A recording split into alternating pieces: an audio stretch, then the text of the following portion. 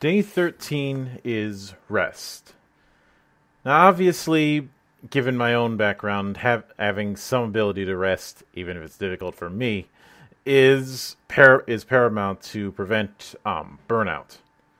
This is why I um I've always been iffy about doing week doing weeklies if you have a much larger group.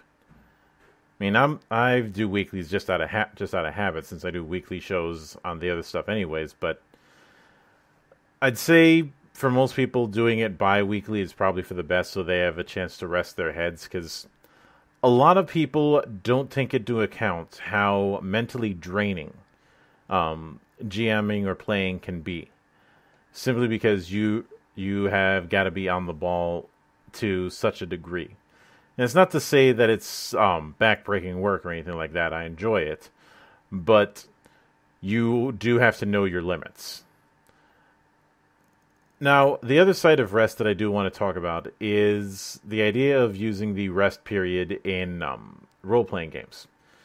A lot of time, rests or downtimes is just treated like a montage or just or just completely skipped over. I see this kind of thing as a lost opportunity, since you do have the moment to have um, character pieces um, within players and within GMs, or within NPCs, I should say, and there's the option to go into that or just go into what um, that given character does on their off time when they're not raiding dungeons or raiding villages. Some some people might ply their might ply their their trade in one form or another.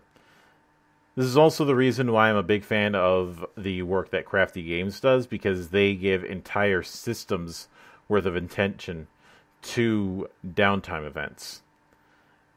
Because it's not enough to just have your character be, "Hey, I'm an adventurer. I just go from place to place raiding dungeons."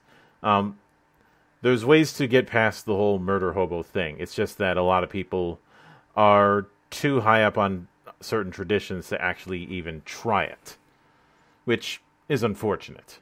So I guess I could say try it sometime. You might like it.